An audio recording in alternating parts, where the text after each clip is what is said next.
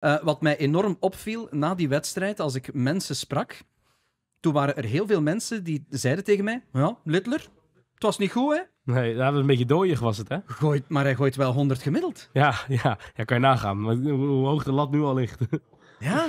Ja, bij mij was Wat, het ook wat, eh, wat heel vond jij van- ervan? Ik, eh, ik weet nog dat ik die wedstrijd heb moeten becommentariëren. En de dag daarna ga ik gewoon eh, naar de krantenwinkel bij ons om de hoek. En eh, toen zei ze al al tegen mij van ja, die, eh, die 16-jarige, eh, dat, dat was helemaal niks gisteren. hè. ik zeg ja, die gooit gewoon 100 gemiddeld. Ik zeg, Ja. ik weet niet wat het daar fout mee is.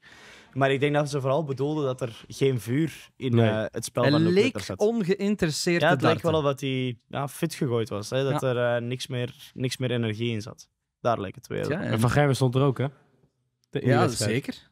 Ja, Speelde een hele goede wedstrijd, wil echt wel een statement maken. ja, ja, zeker, zeker. Maar nou leek het ook wel een beetje alsof er dan andere dingen speelden bij Littler. Wat we ook later gehoord hebben natuurlijk. Dat hij met zijn... De breuk met zijn vriendin, Ja, ja. waar ook eigenlijk heel veel om te doen is, wat eigenlijk niet, Veel te veel. niet hoeft eigenlijk, vind ik. Klopt, ja, het is zo. Maar Jongen is heeft je 17 jaar, kom. Dat heb je altijd hè, als je een eh, celebrity bent, waar dat Luke Littler nu gewoon is. Hè. Het Mm. is geen dartspeler, maar het is een celebrity. Ja, dat zorgt ervoor dat je natuurlijk met alles wat je ook doet in eh, de kijker direct komt te staan. Goed, we hebben met de positieve kant te maken gehad. En nu komen de negatieve kanten, hè? Mhm. Zo is het meestal. Hè. Er is altijd een keerzijde van de medaille. Hè. Ja, ja. Moet hij denk ik maar gewoon mee gaan zien leven. Want als ik de Sun, eh, als je nu de Sun opent, het is niet normaal hoeveel je erover leest. Nee, dat is zo. Ja.